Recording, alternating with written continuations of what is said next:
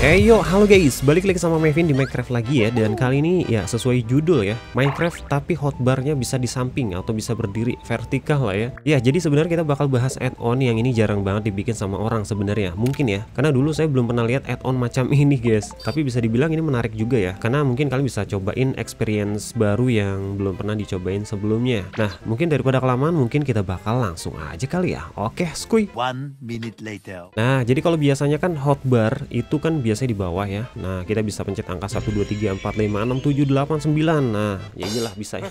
Enggak, maksud saya tuh posisinya kan ini kan biasa banget dan udah umum gitu kan ya memang ini eh, yang enaknya sih posisinya seperti ini. Jadi kalau kita mining pun contoh kayak mining kayu atau segala macem ya pasti otomatis masuk. Ya iyalah sebenarnya nggak ada hubungannya sama itu ya. Eh, ini tuh add-on yang baru banget dan nyeleneh juga sebenarnya sih. Jadi kita bakal langsung aja nih. Oke jadi seperti biasa saya kasih tahu dulu divertnya ya shadernya saya pakai ini link shader LYNX link shader versi 023 ada tambahan kayak apa sih namanya sapek gitu. Saya pakai ultra performance jadi biar kagak nge-lag di laptop saya. Karena kalau misalkan saya pakai yang quality itu kadang-kadang suka lag gitu ya. Karena memang tidak direkomendasikan juga pakai yang quality mode karena ya bisa apa ya lag juga sih. Jadi kita pakai yang ultra performance mode. Nah kalau kalian pengen pakai linknya udah saya taruh di deskripsi guys ya. Nah jadi kita pakai map ini aja. Kenapa? Kita pasangnya di map eh, di resource map ya. Jadi biar kalau ada perubahan itu dia bakal langsung kepake langsung ke apply tanpa perlu restart Minecraftnya. Nggak kayak di global resource ya. Nah jadi kita pakai map ini dan pasang dulu add-onnya. Dan buat teman-teman yang pengen tahu seatnya apa jadi ini seatnya 1975052775033836836 ada di deskripsi juga. Terus kalau untuk resource-nya di sini sebenarnya saya udah pasang ya. Eh belum pasang maksudnya udah ada tinggal kita pasang maksudnya. Kita udah dapat dua ya ada vertical hotbar nah namanya vertical hotbar pasti dia eh, memanjang ke atas. Nah gimana tampilannya di world? Ntar kita bakal coba. Nah kalau yang pertama ini yang pertama sebenarnya harusnya salah tempat. Jadi di sini ada yang biasa dia sebelah kanan. Kalau vertical hotbar yang kedua dia sebelah kiri munculnya. Nah ini nggak bisa dipakai secara bersamaan jadi kita harus eh, pasang dulu salah satu ya. Dan dia juga ada sapeknya kalau nggak salah di sini no number jadi dia nggak ada nomornya. Jadi buat kalian yang pro urusan nomor-nomor misalkan mau pencet angka 5 untuk hotbar yang nomor 5 ya kalian kalau nggak perlu pakai tombolnya nggak masalah ya. Pakai yang no number aja gitu ya. Terus kalau misalkan di sini default berarti dia ada nomornya. Di sini juga smooth kalau nggak salah ini angkanya doang angka 12345 itu smooth ya bukan kayak kotak-kotaknya minicraft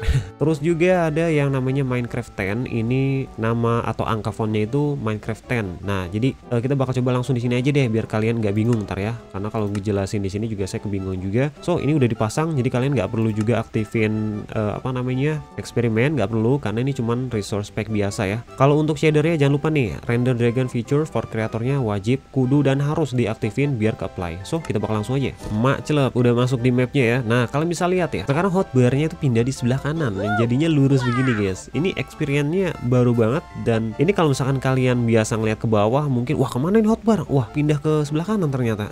Kalau pakai scoreboard mungkin ngebug kali ya saya nggak tahu ya. Tapi ya kalau kalian nggak pakai scoreboard tampilannya begini dan juga angkanya itu Minecraft 10 kayak gitu guys. Ciri khas Minecraft ya atau Minecraft. Nah kalau untuk health barnya sama XP bar ya adanya di eh, bawah ya. Jadi kurang lebih seperti itu. Dan ini nggak ada bug sama sekali walaupun dipakai di versi beta ya. Saya pakai di versi beta nggak ngebug sama sekali. Dan juga kalau misalkan kita pakai apa mouse saya kan pakai mouse ini kalau untuk scrollnya ya sama aja sih. Eh, nggak ada yang beda. Dan juga kalau pakai angka misalkan 1 2 3 jadi angkanya itu menjalar ke bawah menjalar kayak ubi. Maksudnya eh, ke bawah ya di angkanya. 1 2 3 4 5 6 7 8 9 nah jadi kayak gitu guys.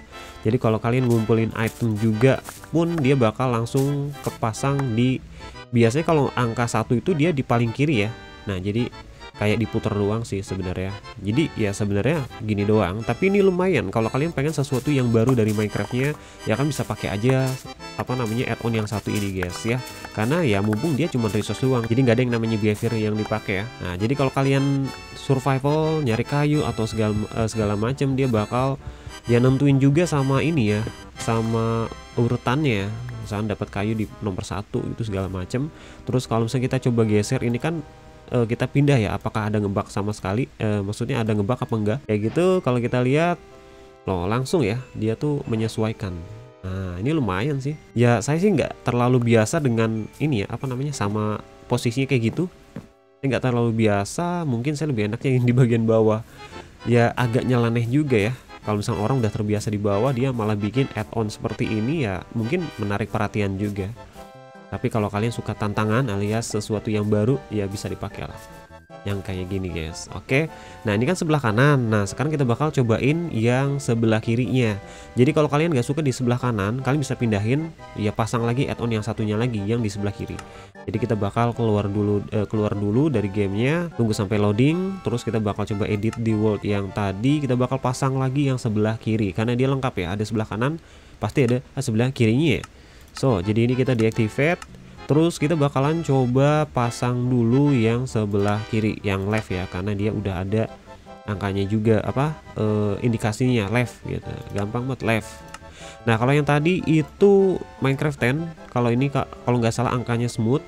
Ini default Minecraft, ini no number. Kita bakal cobain yang di sebelah kiri ya. So kita bakal langsung aja dua jam kemudian. Oke, jadi kita udah masuk lagi di worldnya. Terus kalau misalkan ini di sebelah kiri, ya, jadi angkanya juga dia di atas. Ya sama aja sih, maksudnya itu angka cuman ini ya doang sih. Kita kita pindah dulu.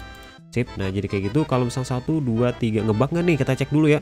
3 4 5 6 lan. Oh, berarti tidak ngebak sama sekali. Ya, sama aja sebenarnya kayak yang sebelah kanan cuman posisinya di sebelah kiri aja sih.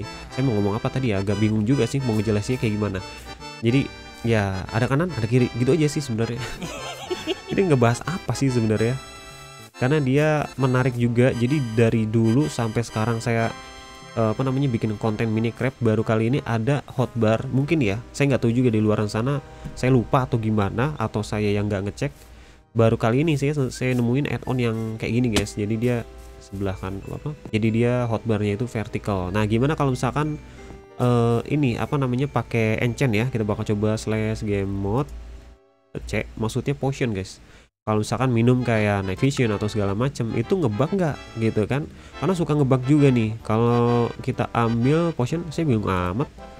Potion speed sama potion instant health enggak kita pakai yang misalkan night vision kali ya? Jambus ya kita pakai itu dua. Jadi kita pindahin aja dulu ke sini guys ya.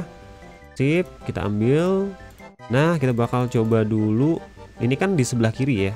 Kita bakal coba slash game mode es sip nah kita bakalan coba dulu minum. Apakah ngebak? Saya agak ragu nih. Oh di sebelah kanan ya. Kalau nggak salah yang versi official efeknya itu sebelah kiri ya. Tapi ini malah sebelah kanan di, eh, di versi beta. Saya agak bingung juga itu. Minecraft kenapa jadi seperti itu ya?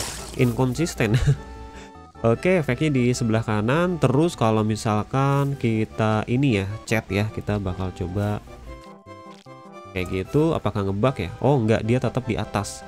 Nah kalau untuk paper doll gimana nih? Biasanya kan suka ada paper doll tuh kalau di sebelah kiri. Kalau di sebelah kanan sih sebenarnya fine fine aja ya. Kalau ini kita bakal coba paper doll mana tuh? Nah ini ya hide paper doll. Oh di hide ya? Padahal itu udah aktif loh. Saya bingung ya oke dimatiin aja. Ya kita coba lagi. Loh kok nggak ada paper doll ya kok malah nggak ada guys harusnya sih kita bakal coba nyalain hide paper doll itu malah di hide loh ini nggak mak maksudnya pas lari harusnya ada tapi ya ya mungkin nggak ngebak lah karena paper doll mungkin kan di paling atas terus kalau misalkan di sebelah kanan Nah, kita coba lagi nih, ngebak apa enggak nih? Soalnya ada efek kan. Nah, ini yang saya maksud nih. Jadi kalau kalian pakai potion ya, jadi itu kayak agak nabrak gitu loh. Night vision, kita bakal coba minum. Terus efek apa lagi guys? Misalkan slowness ya kita bakal coba tambahin lagi. Itu bakal kayak gimana tampilannya nih? Soalnya kalau di sebelah kanan kayaknya sih tidak memungkinkan ya. Coba kalau kita slash game mode escape di survival kita minum lagi guys ya. Minum lagi bam. Nah ini dia kayak ke apa ya ketutup ya jadi sama hotbarnya ini kekurangan kalau di sebelah kanan. Malah di sebelah kiri bagus tadi ya. Nah ini kalau efek slowness uh, maksudnya kayak ditambah night vision 1 2 3 4 5 5 efek terus kalau kalian pakai kanan maksudnya pakai yang sebelah kanan itu bakalan ngebak ya. Nempel maksudnya tuh.